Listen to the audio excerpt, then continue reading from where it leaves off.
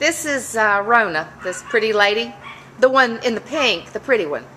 And um, this is her little dog named Indee that she's adopted from us today. And uh, Indee had leg surgery. She had uh, uh, very bad kneecaps. And uh, so um, we spent uh, quite a bit of money on her and got her all fixed up, cleaned her teeth, spayed her, and so now Rona's taking her home.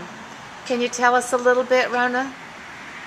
She's going home to sleep on the bed with me All right. and Well, watch TV all day. I think that that's And wonderful. then go and play on the grass. Okay, that's great. Well, thank y'all for adopting a dog that needs a home, and uh, and taking one that has had surgery. Bye bye, y'all. Bye. Thank Bye-bye. you. Thank you. Thank you for all your help. Thank you.